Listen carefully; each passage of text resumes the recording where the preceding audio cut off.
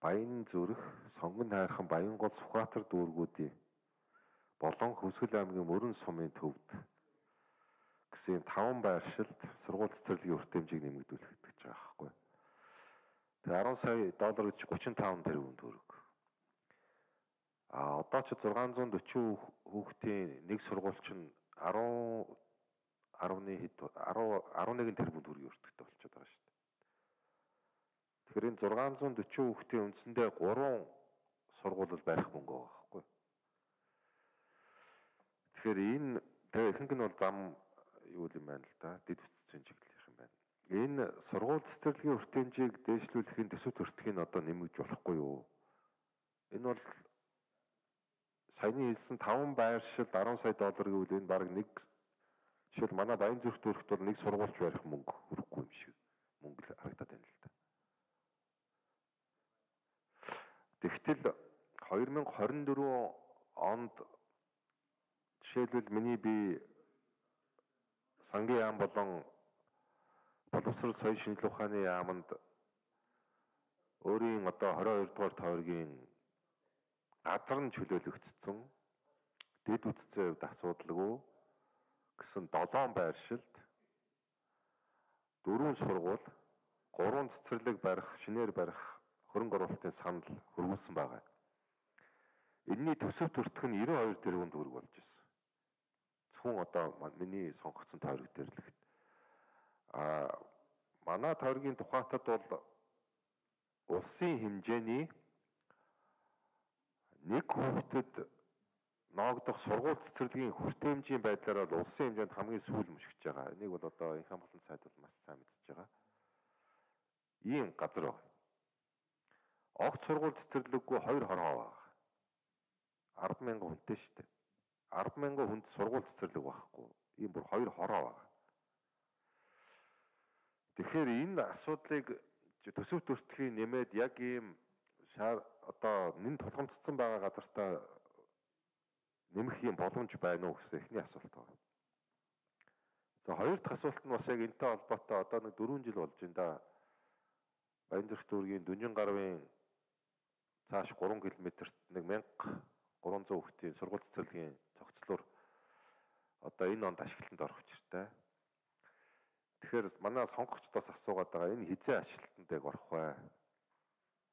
одоо яг энэ жилдээ яг ашиглалтанд орно дээ гэдэг зүйлийг би бол боловсролын сайдаас асууж байгаа. Хоёрдугаарт нь энд 25 26 дугаар хорооны хүүхдүүдийг 3 км аслалтай байгаа учраас бас нэгдсэн журмаар автобус явуулахгүй болвол энэ цаашаа төгжрөл үүсэх гэдэг. Бас хувийн тээвэр хэрэгслээрээ цаашаа хүүхдээ зөөх юм бол төгжрөл үүсэх гэдэг.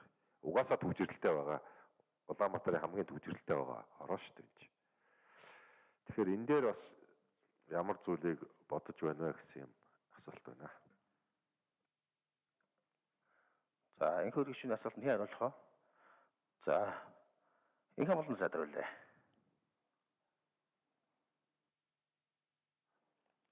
За энэ Азийн хөгжлийн банкны нэмэлт санхүүжилт дээр яг манай салбарт шийдэж байгаа 10 сая долларын санхүүжилт байгаа юм л да. Тэгээд энэ дээр яг гол одоо бидний ач холбогдол өгж байгаа гол зүйл бол ерөнхийдөө энэ гурван ээлжинд орчих гээд байгаа эрсдэлтэй нэг 17 сургууль нийслэлийн хэмжээнд байгаа. Тэгэхээр өнгөрсөн жил бид нар Монгол Улсын их хурл Монгол Улсын засгийн газар одоо нэлээд одоо хүч чармаалт тавьсны хүрээнд бол бид нар цэцэрлэгийн үр хэмжээг шийдэж чадсан.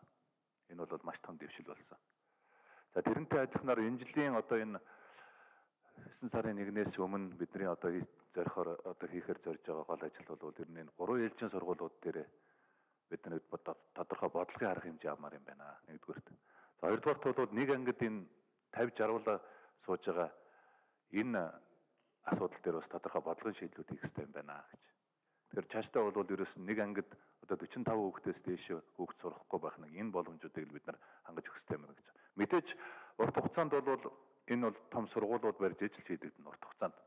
А гэхдээ сургууль бартал одоо бүгдийг хүүхдүүдийг нэг ангидаа одоо ингээд 50 60-аар нь суулгаад ингээд бид нар хараад суугаад байж. Тэгээд одоо хот төдөөгийн боловсролын чанарын ялгаа, хотын төвийн сургууль, хотын захын сургуулийн чанарын ялгаа арилгах арилгах гэж ингэж нүд хуурч бид нэр сууж болохгүй л дээ. Тийм учраас бол энэ намрын одоо барих гэж байгаа бол зорилго бол энэ гурван ээлжинд одоо орцсон байгаа орох гэж байгаа энэ эрсдэлтэй сургуулиуд дээр нэг өргөтгөлийн одоо барилгуудыг зарим сургуулиуд дээр давхар нэмэх нэг ийм шийдлүүдийг гаргаж ирэл Азийн хөгжлийн банк танилцуулаад ингээд энэ юу дэмжигдэл ингээл явж байгаа юм байна. Энэ хоёр гишүүний хувьд бол яг одоо энэ Азийн хөгжлийн банкны юугаар хийж байгаа Баян зүрх дүүргийн 24 дугаар хорооны нэг шин цэцэрлэг Баян зүрх дүүрэг дээр одоо эн чинь баг үндсэндээ Баян зүрх дээр ихэд 3 цэцэрлэг шинээр одоо баригдах ийм төлөвлөлтүүд өргөтгөлүүд хийх энэ асуудлууд бол одоо энэ юуныхаа төслийнхаа хүрээнд ингээд явж байгаа. Таны хүндэж тавьсан тэр сургууль бол одоо энэ намар хариуцлагатайгаар хэлье. Энэ намар гэхэд ямар ч байсан энэ хичээлийн жилийн 10 сарын 1 гэхэд одоо ашиглалтанд ороод хүүхдүүдэд одоо авахын боломжоор бид нар хангаж ажиллая гэж байна. Энэ дэр нөгөө мордхийн хазгаа гэдэг шиг бас их олон тийм бодлогын алдаанууд гарсан. Нийслэлийн хооронд, яамдын хооронд, гүйцэтгэгчүүдийн хооронд за тэгээд дулааны их усруудыг хаанаас яаж шийдэх үү? Тэгээ хувийн нөгөө компаниудын газар дээр одоо энэ дулааныхаа шугамыг татах татахгүй тухай асуудал гэдэг ингээд маргаан явж явж явж явж явж байгаа л одоо тэгээд нэг эцсийн шийдэл гаргаад одоо энэ намар ихэд одоо энэ сургууль ашиглалтанд орно л гэдгийг танд хариуцлага хариуцлагатайгаар хэлье. За Балжин нэмийн баяр сайхан